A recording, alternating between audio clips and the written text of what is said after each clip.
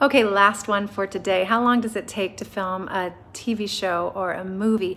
Uh, such different answers. Um, for a big film, like studio film, it can take six, eight months. For a little film, it can take maybe 21 days.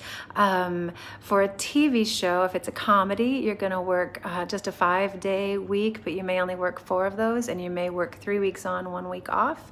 Um, and for a drama, your days are more like um, at least 14 hours, uh, usually much more. I worked uh, 18 hour day yesterday.